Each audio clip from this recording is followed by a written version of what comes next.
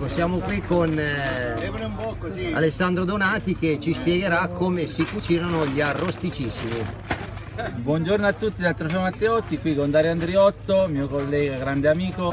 Il segreto è sicuramente avere un, un arrosticino di alta qualità, di ottima qualità, meglio di Europovini non esiste e poi avere un carbone ardente senza la fiamma sarebbe la cosa ideale per cuocere gli arrosticini ed avere un risultato ottimale per eh, una bella serata o giornata di festa. di festa.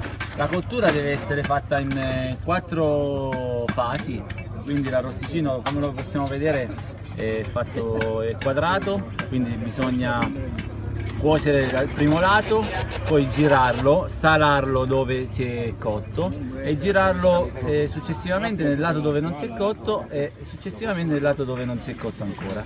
Per cui deve essere una, una cottura uniforme eh, per, eh, per, assaggiare il meglio di questo prodotto.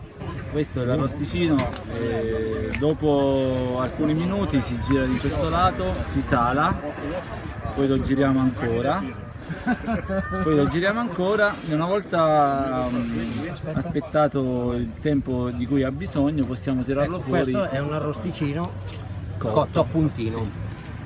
Ecco a differenza di questi che hanno un colore più rosato.